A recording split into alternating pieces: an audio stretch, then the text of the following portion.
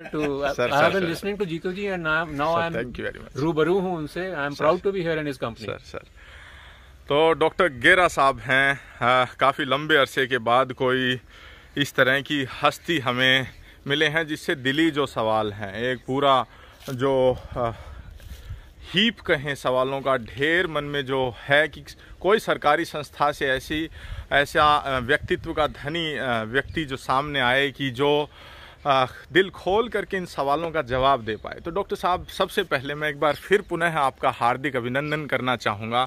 Doctor Sumit Gujjar हैं यहाँ पर और इन्हीं के प्रांगण में इन्हीं के घर आँगन में इस गोधन की आशीर्वाद से हमें ये अपॉर्चुनिटी मिली है ये मौका मिला है कि दो चार पाँच सवाल जो किसान वर्ग की तरफ़ से मैं सरकारी जो उनकी तरफ़ से मैं पूछ पाऊँ। तो डॉक्टर साहब सबसे पहला जो सवाल है हरदेनु नस्ल को विकसित किया गया। अभी नस्ल नहीं बनी है। हरदेनु के ऊपर काम किया गया। स्ट्रेन है स्ट्रेन भी नहीं बनाया अभी हरदेनु है हाँ। जी तो उसकी क्या कुछ कितनी सफलता आप उस नस्ल को इस पर्यावरण में आप देखते हैं और कितने साल तक तकरीबन इस संस्था ने इस नस्ल को या इस क्रॉस ब्रीड को तैयार करने में जो पिछले सतारह अठारह वर्ष का एक अच्छा प्रयास है। जी। और ये कोई नैसर्गिक प्रयास नहीं है। नैसर्गिक नहीं है जी बिल्कुल। आप समझिए कि करनाल ने करण सिस निकाली जी। लुधियाना ने भी निकाली। जी। ऐसे ही एक छोटा सा प्रयास हम्म हम्म सफल प्रयास मैं कहूँगा। हम्म हर देनू का भी है। किंतु कोई ब्रीड बनाने के लिए कुछ लाख में पशु चाहिए होते हैं जी जी। जो अभी हम नहीं पहुँच पाए।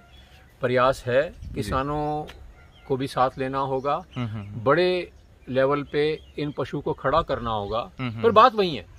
बात यह है कि जो चलता वही है जो बिकता है।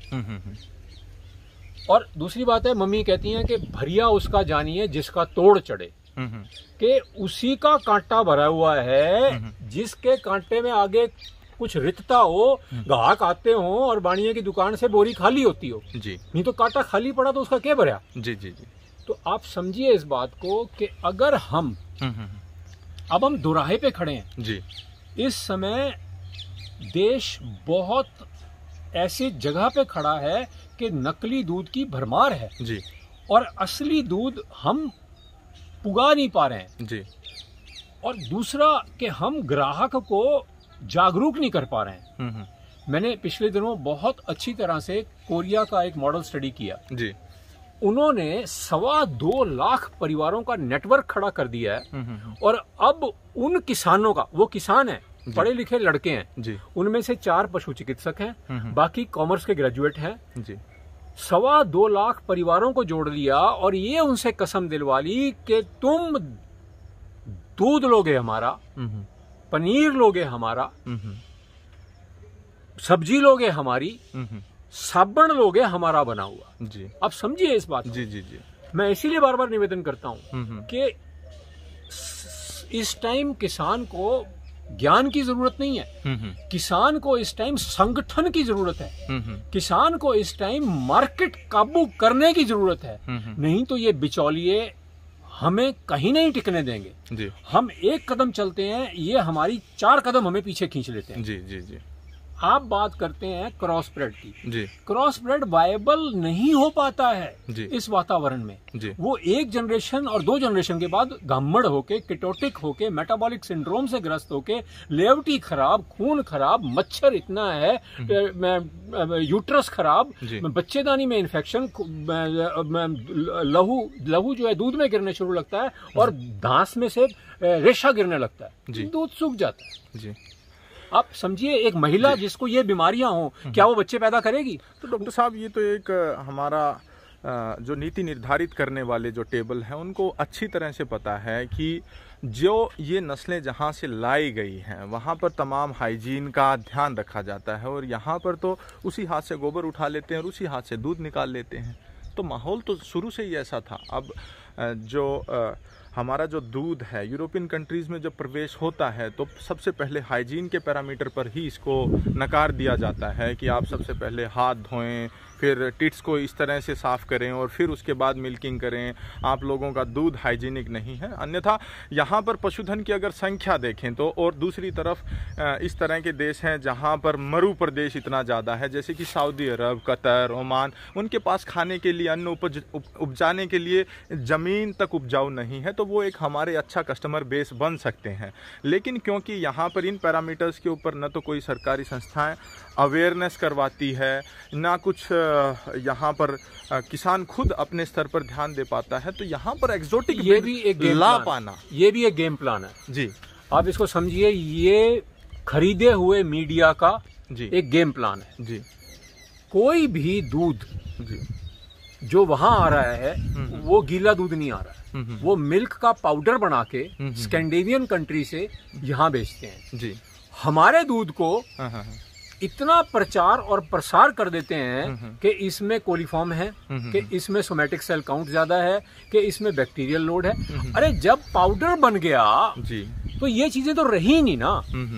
जब वो उसे उसका वाष्पीकरण कर दिया तो ये बैक्टीरिया क्या है? बायोलॉजिकल मटेरियल है। जब दूध पाउडर होगा सबसे पहले तो बैक्टीरिया मरेगा।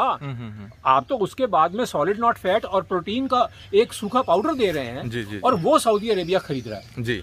पर हम उन्हें सही दूध देने को तैयार थे। जी। दूध हमारा था। जी। प्राइस वार हुई उन्होंने सूखा दूध सब्सिडाइज करके अपने किसान को बचाने के लिए हमारे तरल शुद्ध क्वालिटी के दूध से टकरा कर सस्ते पे वहाँ दे दिया। वो मार्केट हमने इसीलिए खोई।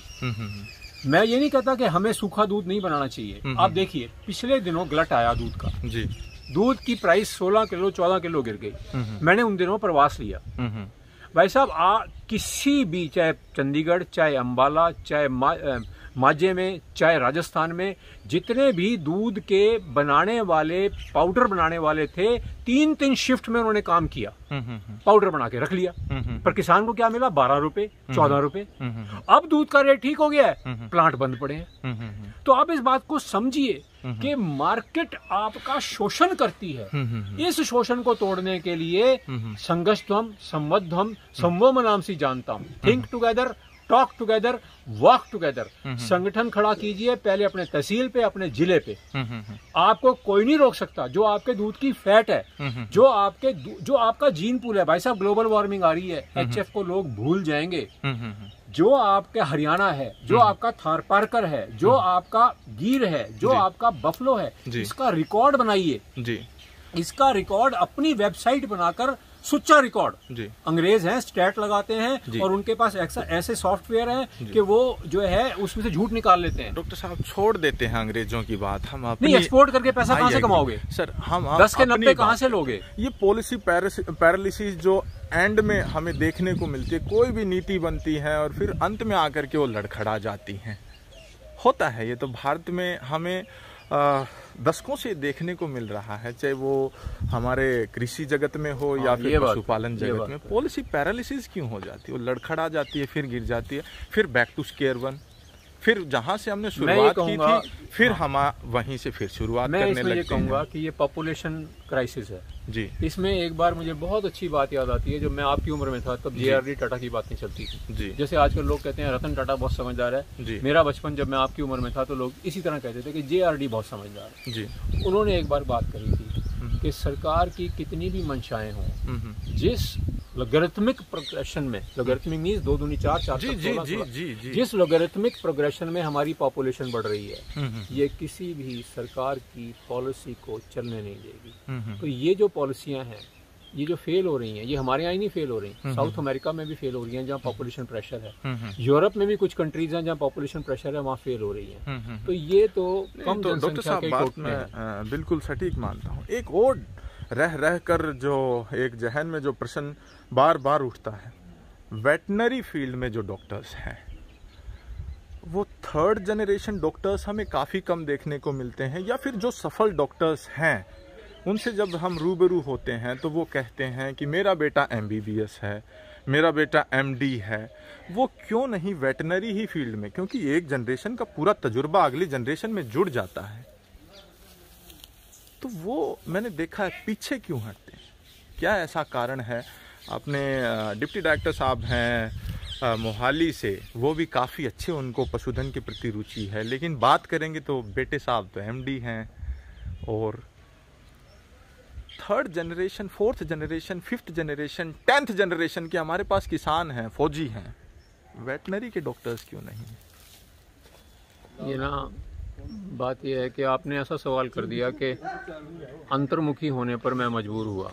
साहब क्योंकि आप जो हैं वो दिल से बात करते हैं बताएँ क्योंकि ये एक ज्वलंत ज्वलंत मुद्दा है क्योंकि अभी अभी जो बच्चे आ रहे हैं अभी एक हमारे सोनीपत से भी एक डॉक्टर साहब हैं वो जुड़े हुए हैं वो कहते हैं कि मैं खुद घर पर एक गाय रखना चाहता हूँ। पहले माँ मना करती थी और अब जो जोड़ीदार है जो बेटर हाफ़ है वो कहती है कि अगर ले आए तो मैं चली जाऊँगी।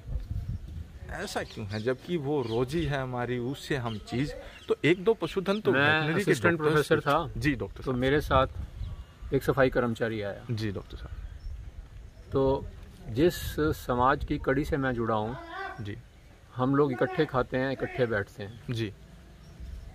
सामाजिक समरसता विचार परिवार में बाला साहब देवरस के टाइम से है। जी। हम लोग किसी की कास्ट नहीं पूछते। जी जी जी। अब वो मेरे घर में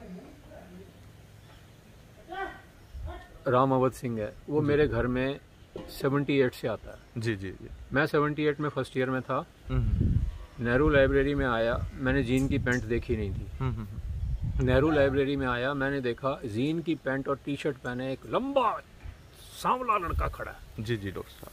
आदत थी सबको नमस्ते करने मेरे को लगा मेरा सीनियर होगा मैंने नमस्ते कर दी हफ़्ता दस दिन के बाद मैंने देखा वो खड़ा है उसे किसी ने डॉक्टर साहब कह के आवाज़ दी। तो मैंने भी डॉक्टर साहब कहना शुरू कर दिया। एक दिन मैं लाइब्रेरी जल्दी आ गया। तीन वर्ष बीत गए थे और मैं मुझे मैं उसे डॉक्टर साहब ही कह रहा था। तीन वर्ष बीत गए थे। और एक दिन मैं लाइब्रेरी जल्दी आ गया। आईएएस तैयारी की दो दो बार मैं फेल हुआ फिर मैं पशु चिकित्सक बन के डॉक्टर बन गया। जी। आईएएस की तैयारी करने के लिए छः बजे लाइब्रेरी पहुँच गया। जी। तो मैंने देखा वो भाई साहब झाड़ वो पोछा लगा रहे हैं। जी। तो मैंने फेस पे चेहरे पे कुछ मलाल नहीं आने दिया कुछ नहीं आने दिया कि अरे मैं इसको डॉक्टर साहब कहता रहा तीन साल से इसके कपड़े देखकर। वो मेरे परिवार का सदस्य है। मेरी शादी हुई उसकी शादी हुई। उसके बच्चे हुए मेरे बच्चे हुए। मेरे बच्चे कैंपस स्कूल में पढ़े उसके बच्चे भी कैंपस स्कूल में पढ़े। उसकी बेटिया ने कहा मुझे ताऊ जी कहती है ताऊ जी पापा मेरी शादी ऐसे घर में कर रहे हैं जहाँ बहस है मैं जहर खा लूँगी।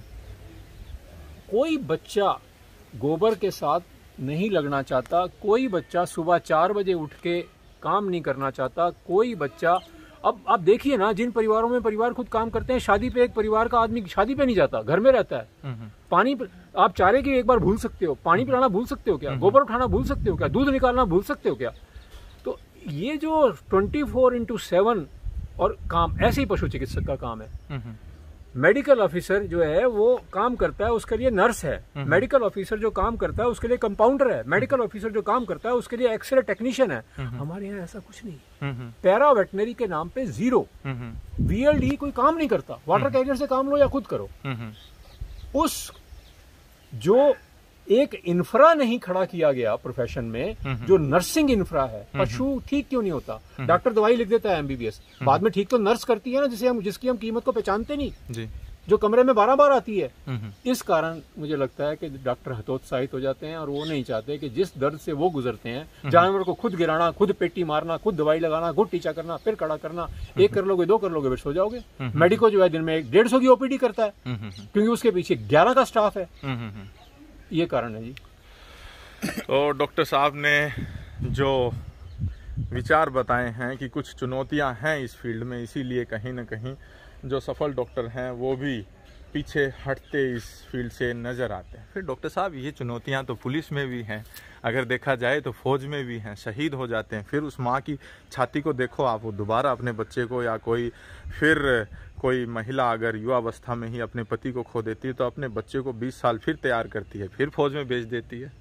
तो ये समर्पण कहें या फिर सिर्फ़ हम ये कहें कि वो ज़्यादा ये बात उनके पास फैसिलिटीज़ हैं। हमारे पास कम है। फैसिलिटीज़ तो हमारे पास हैं थर्ड जनरेशन हमने फौजी देखे हैं जिन्होंने अपनी लगातार दो पीढ़ियों को खोया है और फिर तीसरे बच्चे में इतना जुनून है कि जाऊँगा तो फौज में ही जाऊँगा। तो इस तरह से कुछ हमारी सरकारी हाँ, संस्थाओं से या सरकारी तंत्र से मेरी अपील है कि अपने प्रोफेशन से और अपनी मातृभूमि से इस तरह से जुनून से प्रेम करना सिखाएँ।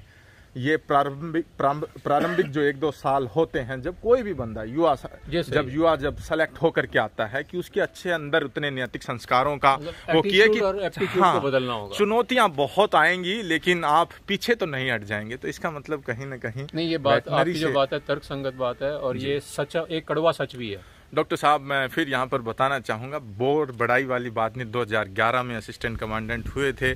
जाते तो शायद डीआईजी आईजी रिटायर आते लेकिन फिर भी जाते हैं। मन एक करता है कि हमारा जो ग्रामीण क्षेत्र है उनमें कुछ पशुधन के प्रति जागरूकता हम ला पाए कुछ किसानों को भी अगर जागरूक कर पाए कुछ गोधन की नस्लों को तो कुछ बहुत अच्छा अच्छे नंदियों को अगर हम बचा पाए तो जीवन सफलता की ओर अग्रसर है। तो एक संतुष्टि वाला एक और मैं सवाल आपसे पूछना जी स्वागत सवाल अंत अनंत है। स्वागत तो डॉक्टर साहब मुझे बताएँ कि सीमन एक ऐसी प्रथा चली है, उसको हम फॉलोअप कैसे करते हैं? एक सांड है हमारे पास, एक शब्द आप और सरकारी संस्थाएँ और सरकारी डॉक्टर्स बहुत बार यूज़ करते हैं PT PT bull progeny tested bull तो हम किस तरह से आज प्रोजेनी को टेस्टिंग कर सकते हैं? किसी भी सांड की जब एक डॉक्टर सीमन लगा करके और पीछे हट जाता है और पशुपालक, हो सकता है उसी कटिया को अभी बेच दे, बाद में बेच दे तो फॉलोअप का कोई माध्यम हमने चुना।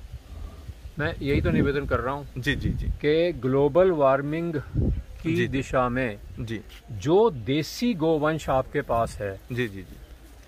अगर आप उसको अगले 40 साल हम्म, हम्म। उस ब्रीड को बना के रखते हैं जी। और सुच्चा रिकॉर्ड हम्म, जो चार किलो दे रही है चार किलो। जी। जिसकी तीन पॉइंट चार फैट है तीन पॉइंट चार फैट। जिसकी चार पॉइंट दो है उसकी चार पॉइंट दो। ये रिकॉर्ड आप अपने नाम से अपने गाँव के नाम से गूगल पे डालते जाइए। जी। रोज का रोज रिकॉर्ड। हम्म, हम्म। अपने आप जेनी टेस्टिंग हो गई ना हम्म, पर समस्या ये है कि अगर आपके पास हरियाणा है तो उसे हरियाणा रखिए चालीस साल। जी। अगर आपके पास थारी है तो उसे थारी रखिए अपने अगले साल अगले चालीस साल। अगर आपके पास साहिवाल है तो उसे साहिवाल रखिए अगले चालीस साल।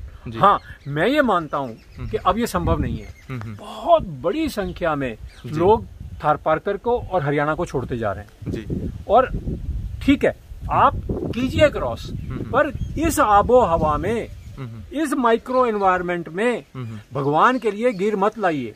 भगवान के लिए एचएफ मत लाइए। भगवान के लिए जर्सी मत लाइए। साहिवाल है ना आपके पास? जी। हर हर आप न, हर गाय में आप साहिवाल का सीमन रखवा दीजिए। जी जी और जब आपके पास 40 साल का डाटा हो जाएगा और फिर उनके बच्चे और उनके बच्चों के बच्चे आएँगे अपने आप प्रजोनी टेस्टिंग शुरू हो जाएगी। जी। क्योंकि आप कहाँ जा रहे हो? डॉक्टर सुमित गुज्जर के घर में जा रहे हैं। हम्म, हम्म। या सक्षम के घर में जा रहे हैं। हम्म, चालीस साल बाद तो सक्षम होगा। सक्षम के घर में जा रहे हैं। तो सक्षम टाइप करते ही सक्षम डॉट बरवाला टाइप करते ही डाटा आ जाएगा। अपने आप प्रजोनी टेस्टिंग हो गई। और यही तरीका है जो कि स्कैंडिनेवियन कंट्रीज़ ने किया। यही तरीका है जो अमेरिका ने किया। हम्म। इसके अलावा दूसरा कोई तरीका नहीं है प्रॉपर रिकॉर्ड डेली का डेली। हम्म। और भाई ब्रीड खराब मत करो। जी। देसी गाय को चालीस साल आपने जो आगे भविष्य के लिए जो एक बिंदु बताया है वो ज़रूर नोट किया जाएगा। लेकिन सरकारी संस्थाओं के द्वारा अच्छे भूल वो सिमनों को पहुँचाया गया डॉक्टर्स के माध्यम से गाँव ग्रामीण दूर दराज फार फ्लंग एरियाज़ में। और वहाँ पर वो लगे। तो ये शायद सीमन प्रथा आए हुए दशक से ऊपर का समय बीत चुका है हरियाणा प्रदेश में भी और भारतवर्ष में भी। तो अब तक हमने पीटी बुल को कि उसकी प्रोजेनी फ़ील्ड में कैसे आ रही है उसको कैसे हम टेस्ट कर पाए? ये कमी रही। हम्म। क्योंकि इसके आना कोई लाता तो है नहीं। हम्म, हम्म, अब आप समझिए इस बात को कि यहाँ थोड़ी सी गड़बड़ है। हम्म, हम्म, हम्म। आप बाज़ार से बैंगन लेने जाते हैं। आपको बैंगन की जगह बैंगन ही मिलता है। जी। थोड़ा फ़र्क मिल जाएगा। किसी में कीड़ा होगा किसी में कीड़ा नहीं होगा। बिल्कुल सटीक आप सेब लेने जाते हैं। जी। आपको सेब ही मिलेगा। जी। आप संतरा लेने जाते हैं आपको संतरा ही मिलेगा। जी जी जी। और सेब और संतरा उस टाइम जो मार्केट में आता है उस हफ़्ते जी। लगभग लगभग एक क्वालिटी का आता है। उसमें चॉइस नहीं होती। जी। पर हमारे इस उस लाइन में मारम मारी नहीं है। जी। उस लाइन में कस्टमर बड़े ध्यान से कस्टमर के मन में ग्राहक के मन में ये है कि मुझे सेब लेना है चुनता है। हम्म, हम्म, मुझे केला लेना है चुनता है। हम्म। मुझे आलू लेना है बाडे में लेता है या छांट के लेता है रेट अलग है। जी। गाय के बिज़नेस में ऐसा कुछ नहीं है। बहुत प्रयास कर लोगे तब भी अगर आप एनसीआर में हो तो आप कह लोगे मेरे पास गिर का दूध है साहिवाल का दूध है कोई कीमत दे देगा। जी। ग्राहक को कोई परवाह नहीं उसके घर में क्या आ रहा है उसको पैंतीस रुपए किलो बत्तीस रुपए किलो में सफ़ेद कलर कलर का द्रव्य चाहिए। द्रव्य चाहिए। उसको बिल्कुल कोई चिंता नहीं है किसान को कि मैंने क्या सीमेंट लगवाया वो बस सिर्फ़ उस साइकिल पे मोटरसाइकिल पे आए लड़के से कहेगा इसमें स्ट्रा रख दे। जी। जी।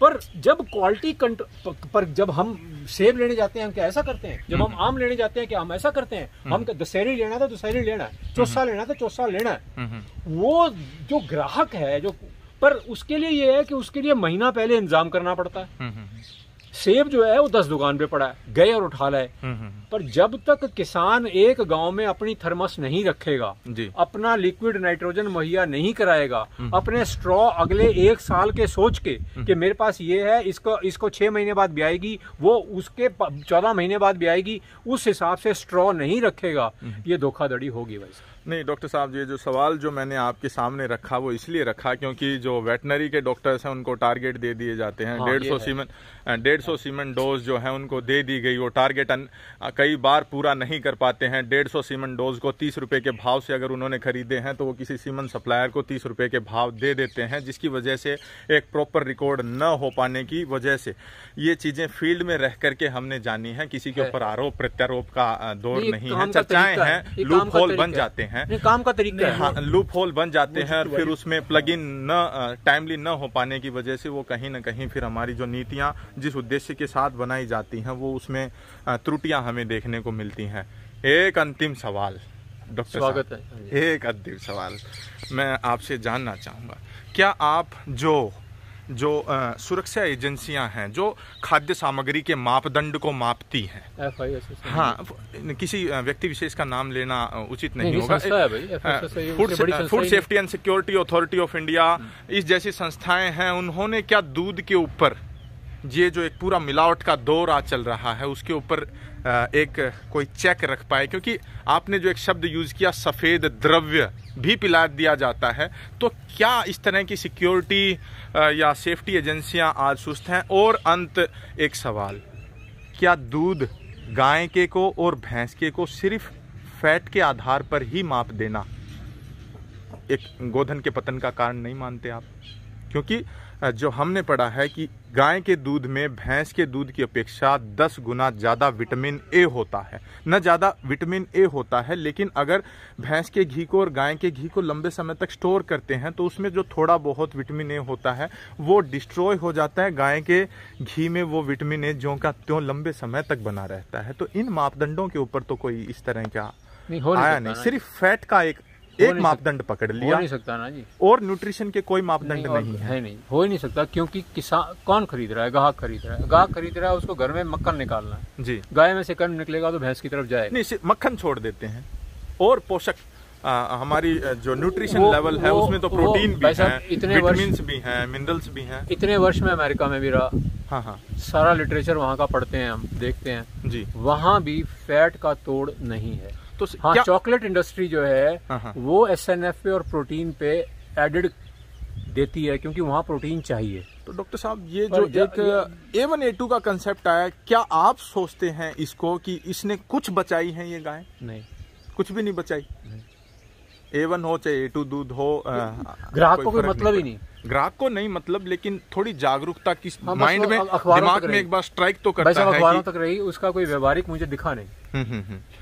कि दूध का मापदंड जब दूध खरीद रहा है कोई भी बंदा डेयरी वाला अगर उसको मान लिया जाए तो सिर्फ़ और सिर्फ़ एक फैट मात्र एक ऐसा मापदंड हो करके रह गया है कि फैट अगर ज़्यादा है तो फैट में तो सरसों का तेल भी मिला करके बेच सकते हैं भैंस के दूध में या गाय के दूध में फैट ज़्यादा आ जाएगा। कर रहे हैं कर रहे हैं। बहुत पाउडर में में मिला रहे हैं। पाउडर में मिला रहे हैं। ऐसे ऐसे दूधिये हैं डॉक्टर साहब जो कि साथल पर ऐसे हाथ मार करके और चुनौती देते हैं कि मैं आपको दूध कृत्रिम दूध बना करके दूँगा और आप किसी भी सरकारी संस्था में किसी भी मापदंड पर आप इसको फेल करके दिखवा दें। हाँ मापदंड नहीं है मापदंड क्या आज हम इतने ज़्यादा कमज़ोर हो गए हैं कि इस तरह के दूधिए हमारी सरकारी संस्थाओं को चुनौती दे दें? नहीं अगर आप टेस्ट करवाएँगे समय देंगे पैसा लगाएँगे तो टेस्ट हर चीज़ का है। डॉक्टर साहब एक दूधिया मुझे मिला। वो मुझे बोलता है एक, बस अंतिम एक मिनट में मैं खत्म करूँ। स्वागत है। नहीं खत्म नहीं परेशान नहीं करूँगा आपको। मैं परेशान नहीं ज़्यादा बोधरेशन नहीं देंगे। उसमें जागरूक ब्रेन के साथ इंटरेक्ट करना आदमी को सीखता ही है ना और आप तो विलक्षण बुद्धि के नहीं नहीं डॉक्टर साहब ऐसी बात स्टेट के बंदे हैं डॉक्टर साहब उसने पूछा उसने मैंने पूछा कि आ, कभी कोई नकली दूध भी तो उस वो दोनों तीनों दूधिए बैठ करके मुस्कुराए आपस में। वो बोले कि रोहतक में एक बैंकेट हॉल ऐसा है जो कि मिष्ठान बनाता है जब शादी के समय। उस समय बोलता है कि 400 लीटर दूध चाहिए मुझे। बताओ कितनी देर में। वो कहता है कि डेढ़ घंटे में मैं आपको ला करके देता हूँ और बिल्कुल वैसे कृत्रिम बनाएगा। और वो बंदा चुनौती देता है कि किसी भी वो बैंकेटिंग हॉल वाला किसी भी कहीं भी किसी भी लैब टेस्ट में चेक करवा ले। अगर फैट कम मिल जाए अगर एस एन एफ़ कम मिल जाए तो मैं उनका चोर। और जैसे वो जो पकवान बनाते फेल हो जाएगा। डॉक्टर साहब हैं ऐसी संस्थाएँ नहीं नहीं मान्य अभी कोई नहीं बायोलॉजिकल मटेरियल और सिंथेटिक मटेरियल जी जी दो मिनट में पकड़ा जाएगा पर हाँ हम्म। जो बर्फ़ी बनाने वाले हैं वो उसमें उस फ्लेवर को और रंगत को इस्तेमाल करते हैं हम्म। और बर्फ़, उस बर्फ़ी में भी आधे से ज़्यादा माल प्लांट प्रोडक्ट होता है। जी जी एनिमल प्रोडक्ट नहीं होता है वो दूध आधारित खोया आधारित पनीर आधारित नहीं है। हम्म। उसमें कहीं ना कहीं कोई खेत का प्रोडक्ट मिला होता है कोई सिरल मिला होता है उसके ऊपर छींटा जो है एनिमल फैट का और असेंस जो है वो जो गोकशी होती है जहाँ गाँव का वध होता जी, है उसकी खुशबू निकाल के वो डाली जाती है बहुत बड़ा खेल है। हम्म। और वो खेल इसलिए है क्योंकि हम अपने रिश्तेदारों को शादी में बुला के जहर परोसने में परहेज नहीं करते। तो डॉक्टर साहब आप तो लुआस जैसी संस्थाओं में और डीन के पद पर हैं। तो ये जो जोत वाला घी या हम ये कहते हैं कि पूजा वाला घी इनके ऊपर बंदिशें क्यों नहीं हो रही? डेढ़ सौ रुपये सौ रुपये किलो मिल जाता है वो पूजा वाला घी। सुगंध लेंगे क्रिस्टल्स देखेंगे तो बिल्कुल सेम हाँ मिलेंगे जी, हाँ जी, आपको। हाँ जी। जी। वो खेल है ग्रेनुलेशन का हाँ हाँ। और इसे हम कहते हैं कॉलीगेटिव प्रॉपर्टीज़ का। जी। तो कॉलीगेटिव प्रॉपर्टीज़ को सेट किया जाता है हम्म, हम्म, और मैं छोटा सा निवेदन ये करूँगा मैं ग्वेल्फ सिटी में जी। घूम रहा था। जी। टोरंटो से अबाउट 200 माइल्स नॉर्थ में है। जी जी। तो मैं एक मॉल में गया। हाँ। तो उस मॉल में मक्खन आप समझिए इस बात को इसमें सिर्फ़ भारत को ही मानसिकता को ब्लेम नहीं मैं करूँगा। हम्म, हम्म, कनाडा में ग्वेल्फ सिटी में हम्म, उस मॉल में मैंने मक्खन सात डॉलर का भी देखा हम्म, हम्म, और मक्खन सत्तर सेंट का भी देखा। हम्म, और मैंने ये पाया कि सात डॉलर वाला खरीदने वाले तो मेरी चमड़ी जैसे लोग थे। जी डॉक्टर साहब। अधिकतर अंग्रेज़ एक डॉलर एक पॉइंट बाईस डॉलर या सत्तर सेंट वाला मक्खन खरीद रहे थे और वो वही था।